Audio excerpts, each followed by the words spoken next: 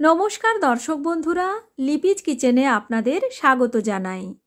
আজ হাজির হয়েছি মুসুর ডালের সঙ্গে দুটি ডিম মিশিয়ে দারুণ টেস্টি একটি রেসিপি নিয়ে। আশা করছি আপনাদের খুব ভালো লাগবে। আমার চ্যানেল এখনও না সাবস্ক্রাইব করা থাকলে চ্যানেলটি সাবস্ক্রাইব করার অনুরোধ রইল। এখানে আমি প্রায় থ্রি ফোর্থ কাপের মতো মুসুর ডাল নিয়ে নিয়েছি। অর্থাৎ একটি কাপের চার ভাগের তিন ভাগ পরিমাণ।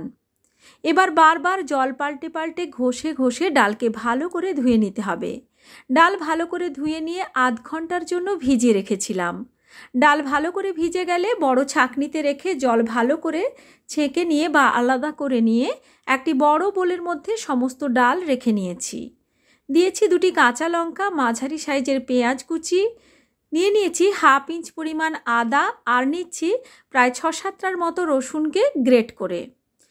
হাফ চামচ হলুদ গুঁড়ো, হাফ চামচ লাল লঙ্কার গুঁড়ো আর নিচ্ছি হাফ চামচ গরম মশলার গুঁড়ো।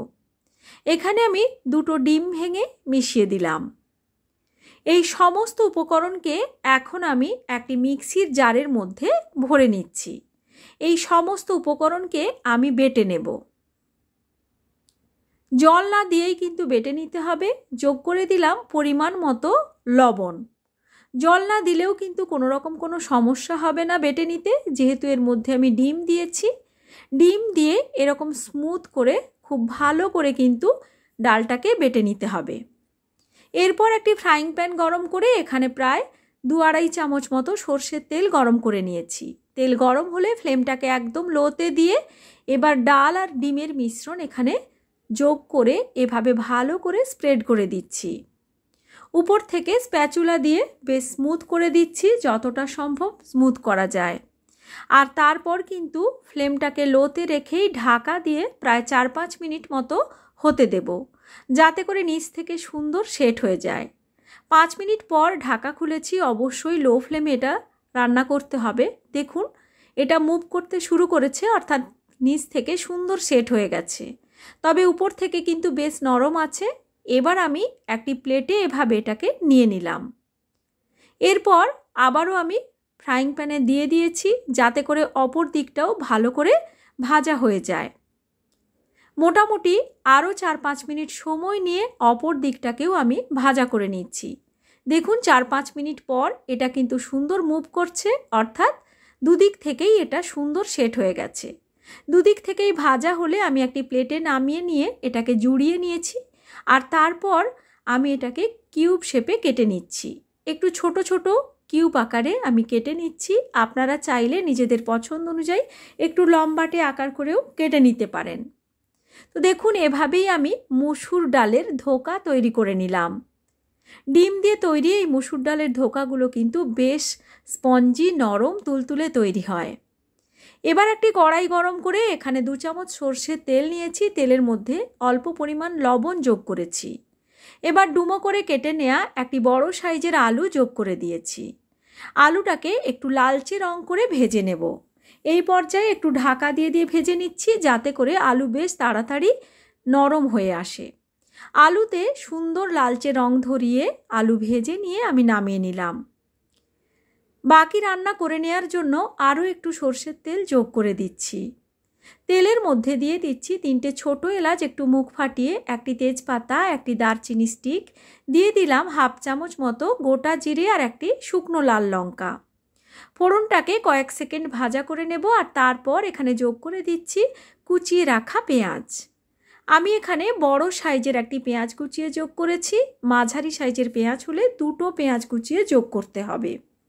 পেঁয়াজটাকে লালচে রং ধরা পর্যন্ত তিন চার মিনিট একটু ভাজা ভাজা করে নিয়ে যোগ করে দিয়েছি। এক চামচ মিহি করে গ্রেট করা রসুন আর এক চামচ মিহি করে গ্রেট করা আদা। আদা রসুনের কাঁচা গন্ধ যাওয়া পর্যন্ত মিনিট দুয়েক লো ফ্লেমেই নাড়াচাড়া করে ভাজা ভাজা করে নিয়েছি। আর তারপর এখানে ফ্লেমটাকে একদম কমিয়ে রেখেই যোগ করে দিচ্ছি হাফ চামচ হলুদের গুঁড়ো, হাফ চামচ লাল লঙ্কার গুঁড়ো, এক চামচ ধনে গুঁড়ো আর দিচ্ছি এক চামচ জিরে গুঁড়ো। একই সঙ্গে যোগ করে দিচ্ছি এক চামচ কাশ্মীরি লাল লঙ্কার গুঁড়ো যাতে করে রঙটা সুন্দর হয়। যোগ করে দিয়েছি টমেটো বাটা। এখানে আমি মাঝারি সাইজের দুটো টমেটো বেটে যোগ করেছি। আর যোগ করেছি পরিমাণ মতো অল্প লবণ। এবার ভালো করে মশলাকে মিডিয়াম ফ্লেমে কষিয়ে নিচ্ছি। মশলাকে কিন্তু একটু ভালো করে সময় নিয়ে কষিয়ে নিতে হবে। মশলা যত ভালো করে কষানো হবে, রান্নার স্বাদ ততটাই ভালো হবে, বলার অপেক্ষা রাখে না। মশলা শুকিয়ে শুকিয়ে এলে অল্প অল্প গরম জল যোগ করে মশলাকে বেশ সময় নিয়ে ততক্ষণ পর্যন্ত কষিয়ে নেব, যতক্ষণ না মশলা থেকে সুন্দর তেল রিলিজ হয়ে যাচ্ছে। দেখুন, আস্তে আস্তে কিন্তু মশলা থেকে সুন্দর তেল রিলিজ হতে শুরু করেছে আর মশলা ভাজা হয়ে সুন্দর গন্ধও বেরোতে শুরু করেছে। এভাবেই প্রায় ছ থেকে সাত মিনিট সময় নিয়ে ভালো করে মশলা কষিয়ে নিয়েছি। মশলা থেকে সুন্দর তেল রিলিজ হলে এখানে আমি ভেজে নেওয়া আলু যোগ করে দিয়ে আলুর সঙ্গে মশলাকে আরও দু তিন মিনিট ভালো করে কষিয়ে নেব। আলু আর মশলা কষাতে কষাতে দেখুন মশলাটা বেশ শুকিয়ে এসেছে। এই পর্যায়ে কিন্তু আমি এখানে যোগ করে দেব গরম জল। অবশ্যই জলটা কিন্তু গরম জল দিতে হবে। গরম জল দিলে রান্নার টেস্ট ভালো হয়। এরপর ভালো করে সমস্ত কিছুকে একসঙ্গে মিশিয়ে নেব। জলের পরিমাণটা কিন্তু একটু বেশি দিতে হবে। যেহেতু ডালের ধোকা কিংবা আলু দুটোই বেশ ঝোল টেনে নেবে। এখানে ছোট চামচের এক চামচ চিনি যোগ করেছি, টেস্টটাকে ব্যালেন্স করার জন্য, আর গ্রেভি ফুটতে শুরু করলে সমস্ত ধোকাগুলো যোগ করে দিয়েছি। এবার ধোকাকে কিন্তু এই ঝোলের মধ্যে ভালো করে ফুটতে দেব। যোগ করে দিলাম পরিমাণ মতো বাকি লবণ দিয়ে ভালো করে মিশিয়ে নিলাম। এবার এখানে আমি চার পাঁচটা কাঁচা লঙ্কা যোগ করে দেব, আর তেজপাতা আর দারচিনিটাকে কিন্তু আমি তুলে নিলাম। এবার ঢাকা দিয়ে মোটামুটি পাঁচ ছ মিনিট মিডিয়াম টু লো ফ্লেমে হতে দেব। পাঁচ ছ মিনিট পর আমি ঢাকনা খুলে দিয়েছি। দেখুন, ডালের ধোকাগুলো কতটা সুন্দর ফুলে গেছে। ঝোল সুন্দর টেনে নিয়েছে, ঝোলটাও কিন্তু আমাদের ঘন হয়ে গেছে। এই পর্যায়ে চেক করে নেব আলুটা সুন্দর সেদ্ধ হয়েছে কি না আলুও আমাদের সুন্দর সুসেদ্ধ হয়ে গেছে, রান্নাতে আর বেশি বাকি নেই।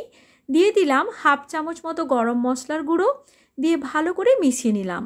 আপনারা চাইলে এখানে এক চামচ ঘিও যোগ করতে পারেন, তবে আমি ঘি যোগ করছি না। এমনিতেই কিন্তু এটা খেতে দুর্দান্ত হয়। এবার জাস্ট ঢাকা দিয়ে লো ফ্লেমে এক মিনিট মতো রান্না করার পর ফ্লেম অফ করে ঢাকা দেওয়া অবস্থায় আরও চার পাঁচ মিনিট দিয়ে নেব স্ট্যান্ডিং টাইম দেখুন আমাদের মুসুর ডালের ধোকা কিন্তু একদম রেডি সার্ভ করার জন্য। কতটা লোভনীয় দেখতে হয়েছে, খেতেও কিন্তু দুর্দান্ত হয়। আশা করছি আমার আজকের এই রেসিপিটি আপনাদের ভালো লেগেছে। ভালো লাগলে লাইক শেয়ার ও কমেন্ট করার অনুরোধ রইল। আজকের মতো এই পর্যন্তই। আবার হাজির হব নতুন কোনো রেসিপি নিয়ে। সবাই ভালো থাকবেন। Thanks for watching my video